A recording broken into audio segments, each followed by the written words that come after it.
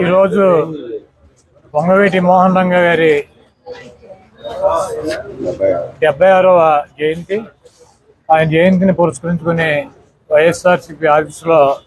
ఆయన ఘనంగా పుట్టినరోజు శుభాకాంక్షలు తెలుపుతూ ఆయన వదిలి వెళ్ళినటువంటి ఆశీస్సుల్ని ఆయన వదిలేనటువంటి లక్ష్యాలని కొనసాగించడానికి మరొకసారి ఆయన గుర్తు చేసుకుని పునరంకితమవుతాం అదేవిధంగా వంగవీటి మోహన్ రంగ గారు